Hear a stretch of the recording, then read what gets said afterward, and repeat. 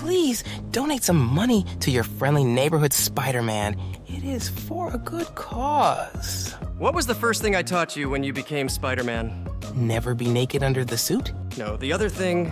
It is okay to occasionally throw bad guys off buildings. No, the other one. It is never okay to ask for. It is never okay to ask for money. But Pete, No buts. You have shamed your father, your mother, and most importantly, me. You have shamed me. but Pete, I really want an Xbox. You don't need an Xbox. You already have a PS5, which you stole from that Korean negative guy. Mr. Negative is Chinese. Black or Chinese, it doesn't matter. What matters is that you don't need an Xbox. I do need it. Because Palworld isn't on PlayStation. What? I want to play Palworld, and for that, I need an Xbox. How dare you want to play some cheap Chinese Pokemon copy? Not that I have a problem with Chinese people. I love their food and their anime too. Anime comes from Japan. Don't change the subject. Palworld is an inferior copy to Pokemon in every single way, even in how hot some of the Pokemon are. What? You heard me. Some Pokemon are hot.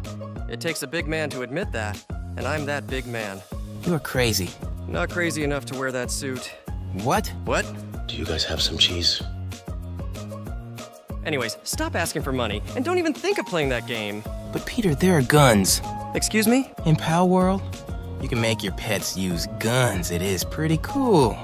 That does sound interesting. Right? You can't do that in Pokemon. S- still, you shouldn't play that game. It is morally wrong to do so, and we are supposed to be an example for others, so don't play it. Also, look at this mod someone made. It turns all the pals into actual Pokemon.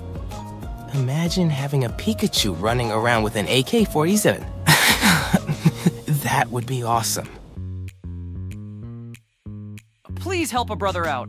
Please donate some money to your friendly neighborhood Spider Man.